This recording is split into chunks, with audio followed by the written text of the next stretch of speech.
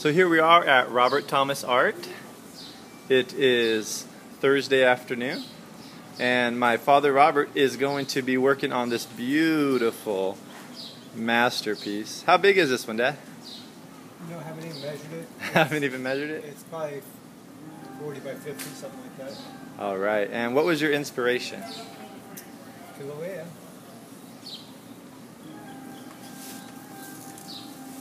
Kilauea in the 90s. I filmed it all the way from 1972. So when it was actually erupting at the top in the crater. And then as the years went by, we would uh, drive down Chain of Craters Road, and from the bottom, we can walk right up to it and do some great filming. But presently, in the last two or three years, four or five years, come off of the national park and down into uh, county property where the police are the ones that let you get close or stay far away, and they keep you away from it. So they've been keeping us like uh, about a half a mile away from the actual lava.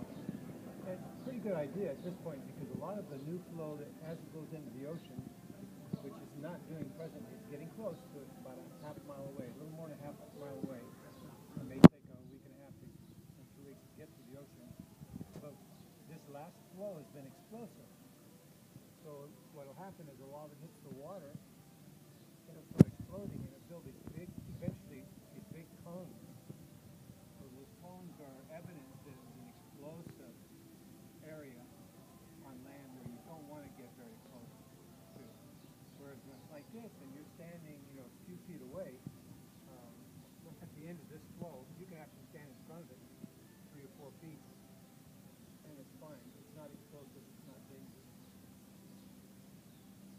Tell us about that time that you spent the night videotaping. Well, that was sort of a scary night. Um, I had to be careful saying not dangerous. You know, using caution, as the rangers do out in the park, as much caution as they use. Uh, you do have to be careful. But filming is wonderful. And I, I decided to spend the night out there one night with two of my other friends, and, and uh, nobody got hurt. About an hour where we lost one of our friends. He went over this cone. So if we were little people right here, and he comes over over the he went over the backside of the cone. I got up to about here, and it just scared me because it was so hot. And it was molting over here, going into the ocean. And I just went back, and then kept trying to cell phone him. I couldn't get any reception out there. We waited almost an hour and a half. Finally, I said, "Okay, I'm going to hike up, and I'm going to go wherever he is. I'm not going to have." You know, people say, "You didn't even try and get him, you know, save him." Walt Furman is his name. You know, to tell you I'm not telling the story. So as I got back up, a little further than where I was. His head pops up, and then he, he, he as he's walking towards me, he, he comes over that hill, and he, he just sat down with me and told me the whole story of what happened to him on this other side, near the ocean.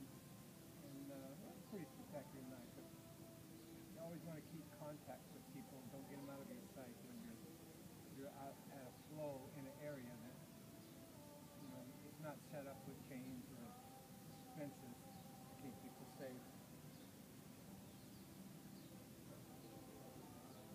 Awesome. Well, great talking with you.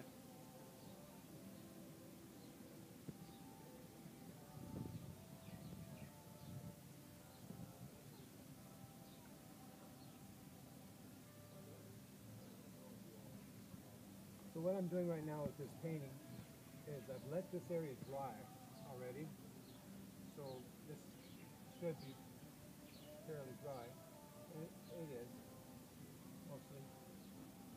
And now I'm dry brushing. I've, I've mixed some reds and blues, ultramarine blue, titanium white, and,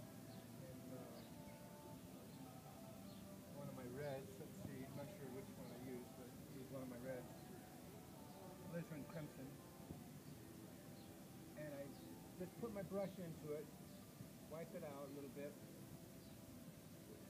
get enough paint on it, and then I just give it a, a, a dusting. It's like putting makeup, makeup on it, real, real um, gentle.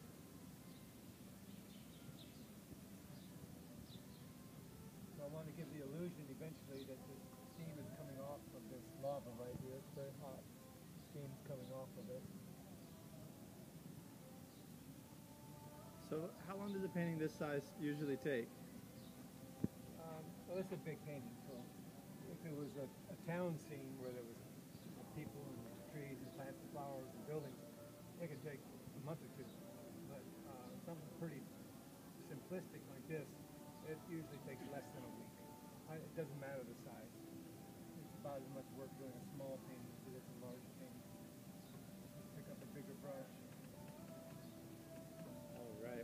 keep uh, checking back with you, seeing how the progress is going, and talk to you soon. And what is your name before you Oh, it's me, Michael.